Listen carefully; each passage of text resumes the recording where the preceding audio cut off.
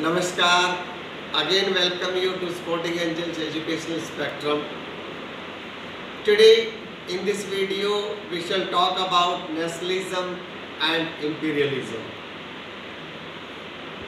by the last quarter of nineteen century nationalism no longer retained its idealistic democratic sentiments of the first half of the century. This was the major change. Remember, initially, nationalism was associated with liberals, revolutions, then of course culture. But in the last quarter, it was sadly associated with imperialism.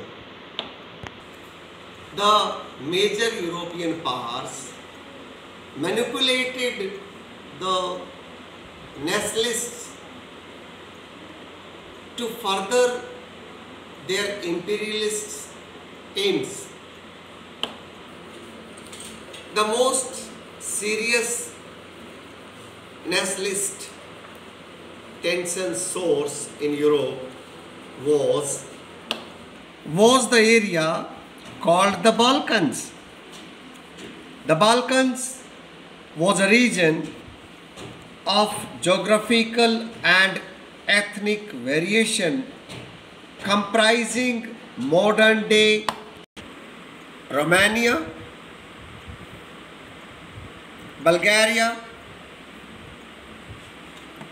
Albania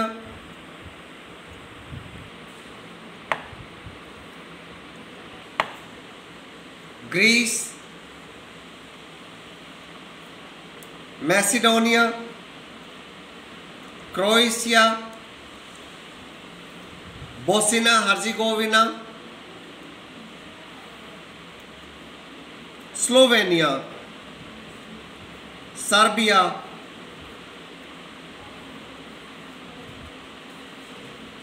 Montenegro, whose inhabitants were broadly known as Slavs.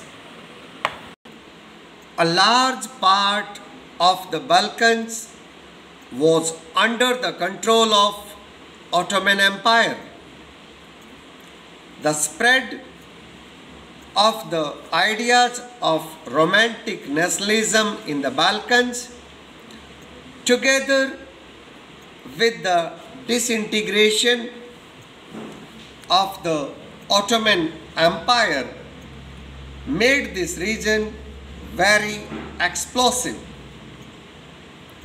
All through the 19th century, the Ottoman Empire had sought to strengthen itself through modernization and internal reforms, but with very little success.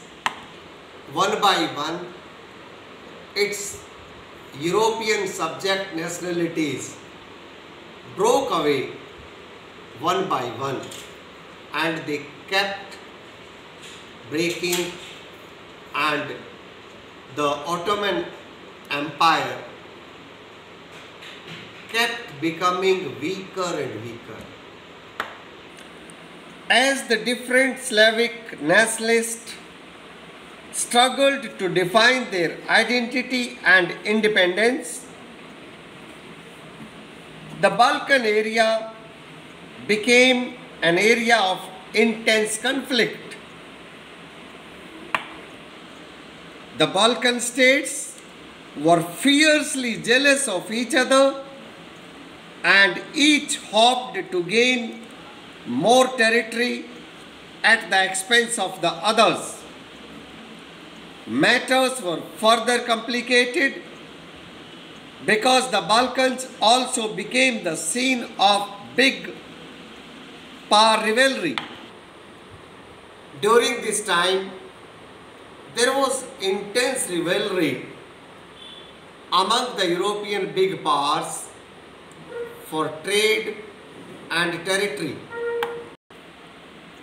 Each power, Russia, Germany, England, and Austro-Hungary, was keen on countering the hold of other powers over the Balkans and extending its own control over the area.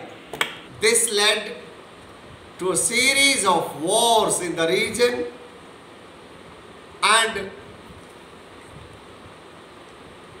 finally the World War First.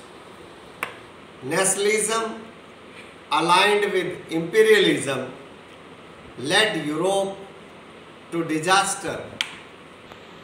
World War First began in 1914 but meanwhile many countries in Europe and worldwide began to oppose the imperial powers. Anti-imperial movements that developed at many places in the world were nationalists in more than many sense. Number one, they all struggled to form independent nation states. Number two, they were all inspired by collective national feelings. And these feelings were forced in confrontation with imperialism. That was the beauty of these feelings. And finally, I would like to conclude by saying that the idea that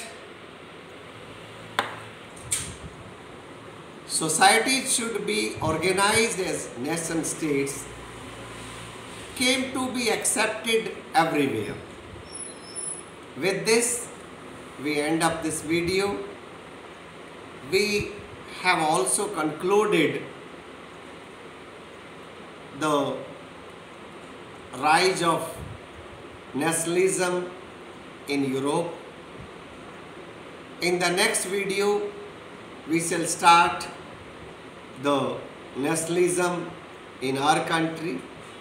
Till then, stay fit, stay healthy, keep watching. Thank you for joining.